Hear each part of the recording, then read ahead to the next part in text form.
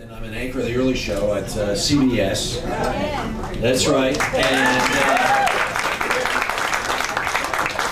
and many hundreds of years ago, before history began, I was a student at a place called Central College in Pella, Iowa.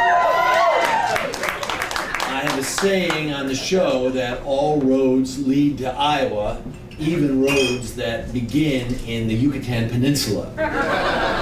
Uh, we are a very proud little school, kind of in the middle of nowhere, and uh, one of the things that we're most proud of is the Jazz Studies Department at Central that has been led for more than a decade by Mr. Gabriel Espinosa. And when I heard that he was going to be here tonight, he sent me a CD, and I said, I promise you all I will listen to it. And it is nothing short of exquisite.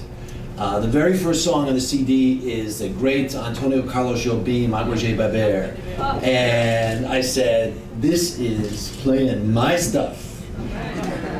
There is a wonderful uh, medley and journey of uh, bossa nova and samba and uh, Caribe and Cubano and who knows all else. So there's all kinds of wonderful stuff that is intertwined in this music, and I think you are in for a swinging musical treat.